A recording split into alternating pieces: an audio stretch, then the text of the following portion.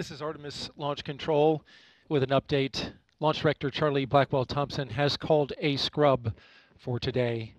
Again, Launch Director Charlie Blackwell Thompson has called a scrub of the attempt of launch of Artemis 1 and the Space Launch System with the Orion spacecraft.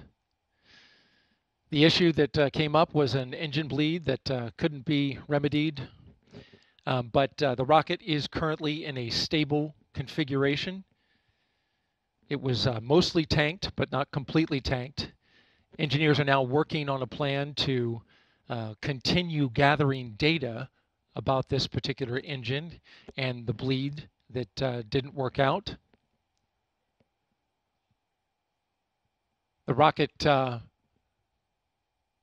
the, the hydrogen bleed rather was a goal of the previous wet dress rehearsal that didn't happen due to a hydrogen leak. So uh, engineers are, are focused on gathering as much data as they can at this time. So they have not gone to um, to draining the rocket just yet. They're going to keep it in its current configuration and uh, gather that data.